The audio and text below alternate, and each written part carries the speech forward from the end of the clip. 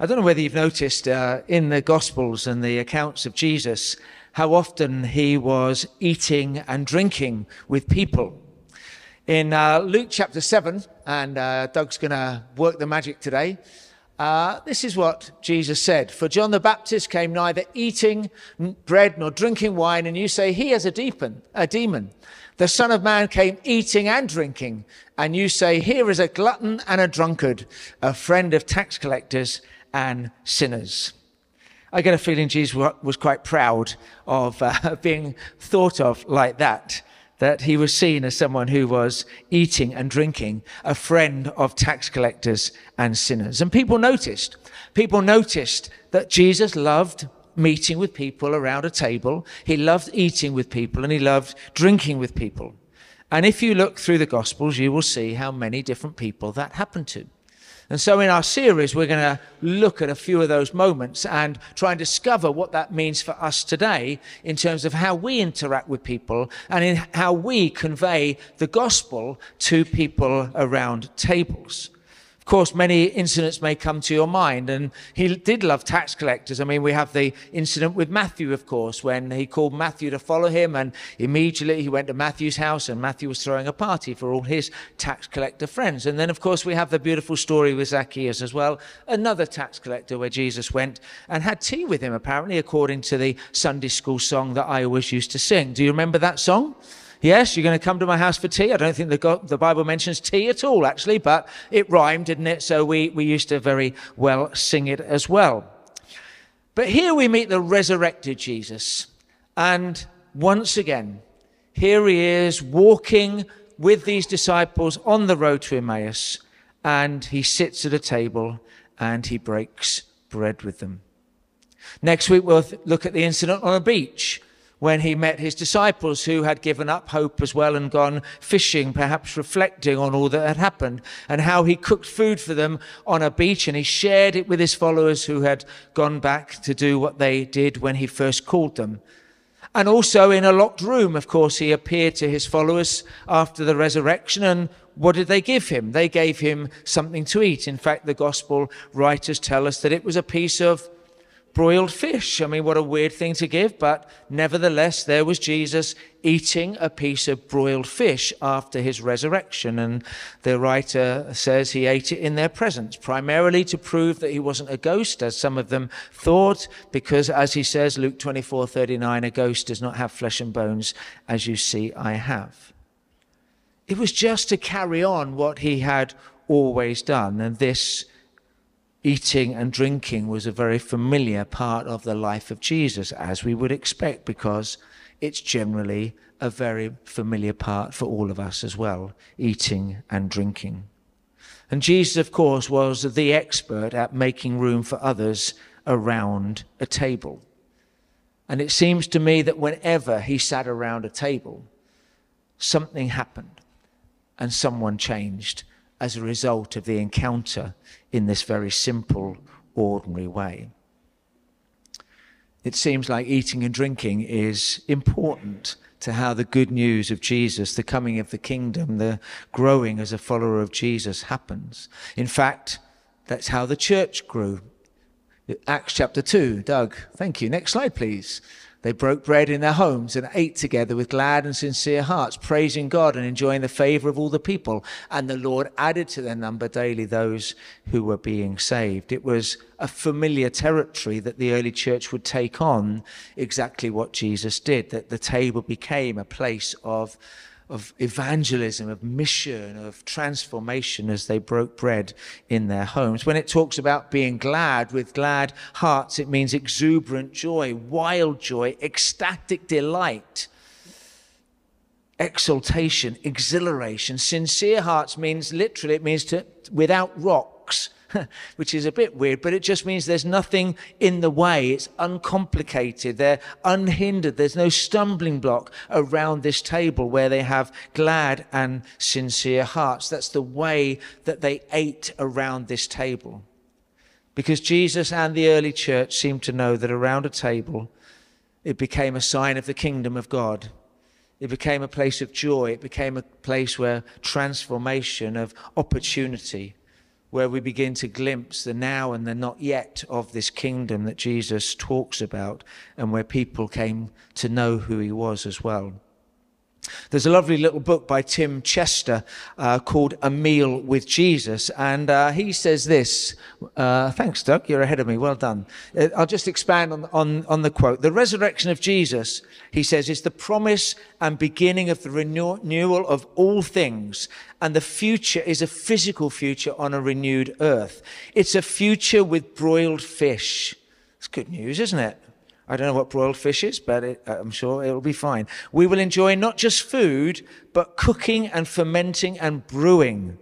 Isaiah 25 verse 6 says, On the, this mountain, the Lord Almighty will prepare a feast of rich food for all peoples, a banquet of aged wine, the best of meats and the finest of wines.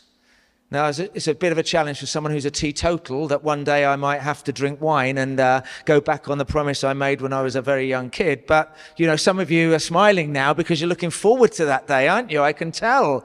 Better wine than you've ever drunk before is going to be there in the kingdom. And for those of us who've never had it, well, we'll get a taste of it as well. And so it seems to me this is a great decision to, to make room around a table, to invite others to practice what it's going to look like in the kingdom of God eating and drinking becomes the norm, it seems.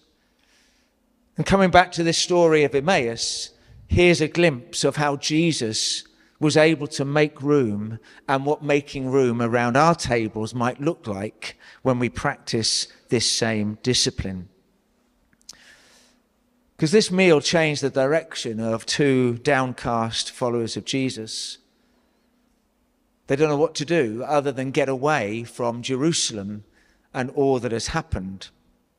They didn't recognize Jesus in this first encounter, maybe through tears, maybe through the pain of unbelief. But the text says they had hoped that he, Jesus, was the one who was going to redeem Israel. And now it seems that all their hope had been lost. It seems hard to imagine why they didn't stay in Jerusalem, because if you read the gospel accounts, of course, there were reports of the risen Jesus by some of our women. They even say that. And yet they were still walking away. There was an empty tomb which had been witnessed. There was no body inside that tomb. The angels were, who were at the tomb were telling their followers that Jesus was alive. It was even confirmed by some men, but they didn't, still didn't believe it. They still walked away.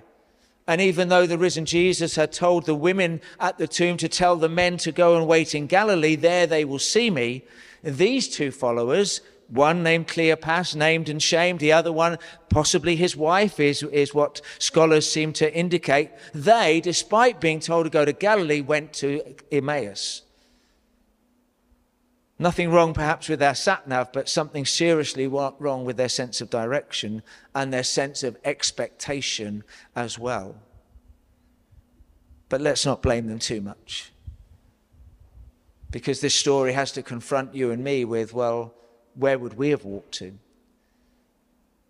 Or perhaps even more important, where are we walking to? For those of us who know that Jesus is alive and present through his spirit, where are we walking to now?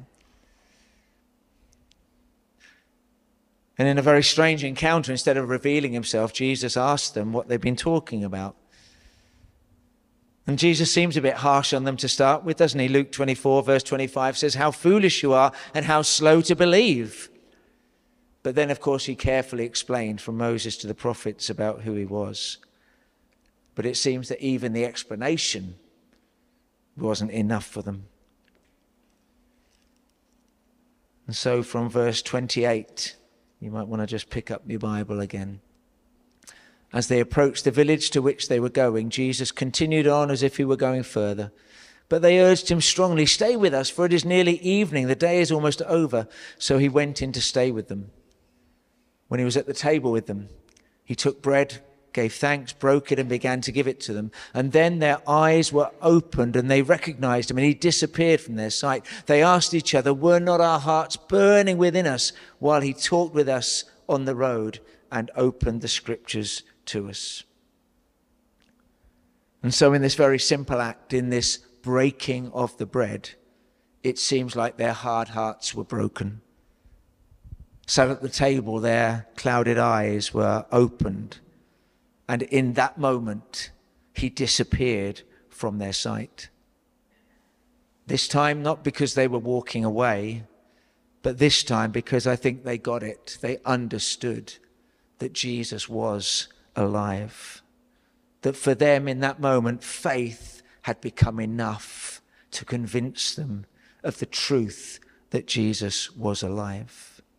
Just as Mary heard her name in the garden, and that was enough to convince her that Jesus was alive. Just like Thomas, who was very bold and saying, Unless I put my fingers there and see it and feel it. But when he confronted Jesus, as Jesus turned up and Thomas was there, it was enough for, G- for Thomas just to see him, my Lord and my God. See, faith becomes enough in these moments, enough to reverse their direction straight away, enough to recover their hope, enough to renew their strength, to go back the journey again, even in the dark, but now with the light of Jesus burning again inside them, off to Jerusalem to join the mission Jesus invites everyone to join him with. Now, I'm not a connoisseur of art, but I did come across this painting by uh, Diego Velázquez. Is that how you pronounce it? I don't know. Painted in about 1620 ish, apparently. And this is. Uh, the, the Emmaus story uh, painted for us the kitchen maid with the supper of Emmaus. And what's intriguing about this picture is that no one is sat around this table. It's like painted at the moment when suddenly everybody who was around the table has gone. And the maid is looking a bit bemused and a bit astonished by the fact that there were people sat here a few moments ago and now nobody is there. But of course, you notice up in the top left corner, it's like that is what happened a few moments before this painting. That there were people sat around the table. Apparently, uh, when somebody bought the painting and restored it, they chopped off the other corner. There used to be another disciple sat on the other side of the table, but it has vanished now. But there's Jesus, and you can just about see the hand, hopefully, of the uh, other follower on the left. But there's this moment when suddenly something has happened. Jesus has disappeared from their sight. The two walkers have gone, left the table to walk back home. But of course, there's something on the table, isn't there? Have you noticed? It's just a white cloth, isn't it? It's almost an echo of the empty tomb, isn't it? Which wasn't empty because the linen was still lying there. And it's almost like here again, we see where Jesus has been, but now he's not there, but he's alive and with us. And those two followers have gone back home back to Jerusalem to see what is happening next. See, suddenly everything's changed. Faith became enough and everything changed. Not only the direction of, of, travel back to Jerusalem, but the direction of their lives was transformed around that table in that moment. Faith was restored, hope was renewed, and love was refreshed in that moment. So there's no need to carry on sitting around that table it's time to get back.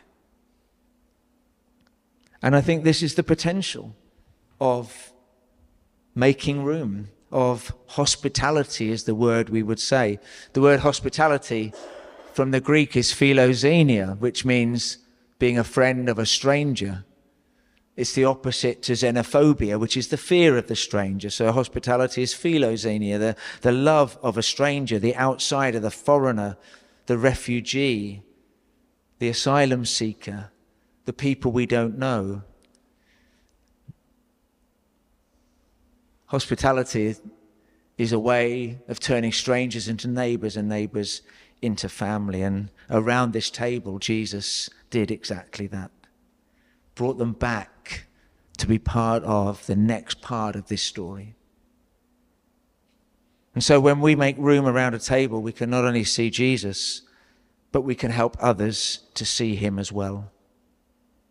Of course, it's a place to get to know one another, to share stories, to express the unity of faith, to blur the edges of guest and host, to discover the mutual respect and understanding we can have for one another. It strengthens our witness as well. The Catholic priest, Henri Nouwen, he, he says this in his little book called Reaching Out. Hospitality is not to change people, but to offer them space where change can take place. And it seems that's exactly what happened around that table on the road to Emmaus. Jesus wasn't there to change them, but he was there to create a space where change took place.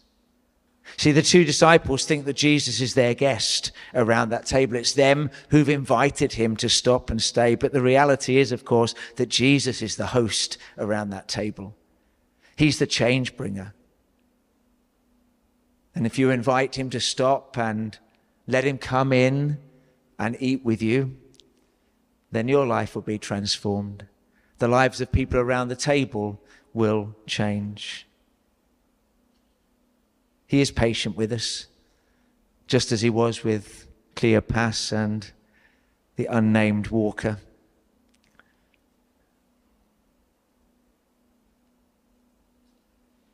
But he gives us an opportunity to encounter him afresh. And then we too build faith and confidence in his story. Making room for Jesus, the person they thought was the stranger at their table, is the friend they've been longing for again. It's a glimpse of the kingdom when our eyes are open to the reality of who He is. This isn't a place of entertainment, it is a place of hospitality. This is an act of generosity, expecting nothing in return but in, in inviting a response to the love of Jesus. So, where are you heading? Where is your life heading? Where are you walking? Emmaus, away, doubting. You had hoped that this was the answer to all the prayers that you've ever prayed. Or maybe back to Jerusalem, convinced, certain confident with courage to once again follow Jesus. And it all happens around a table. And this morning we're going to be around a table, making room for Jesus to make himself known to us through the bread and through the drink, to let it transform us. For the one who's made room for you around this table longs for you to know his presence and his power today. Yeah, those followers, they turned around, didn't they? That's what the word repentance means, of course, to turn around, to start walking a different direction, the direction back to where Jesus wants us to be with Him, taking hold of the mission that He's given for us to do.